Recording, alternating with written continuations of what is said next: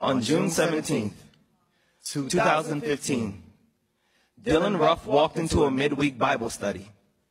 He sat and prayed with the church members before pulling out his gun, killing most, and allowing one to live. After the incident, he was found and arrested peacefully. When Dylan Roof killed nine innocent black people, we did not question his God.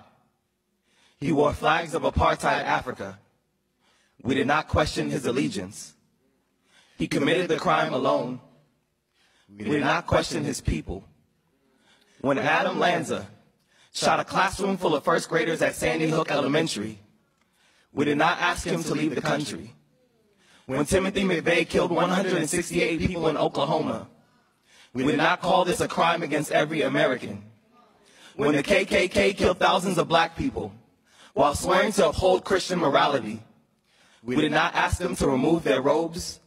We did not call all Christians bigots. Do you see it? How we don't label all white men based on the sins of a few. Do you see it? How we don't have to condemn a whole class of people based on the actions of some. Do you see it? How all the names are different.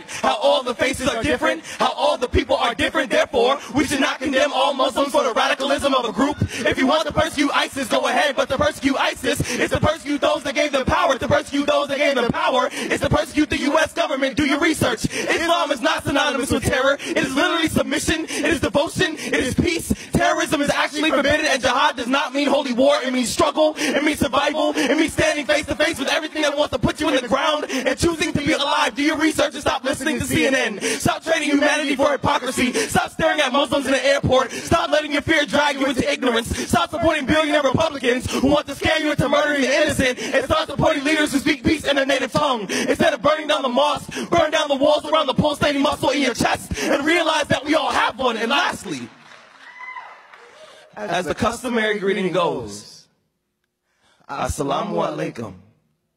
Peace be upon you. Wa alaikum assalam. And upon you be peace. Do you see it?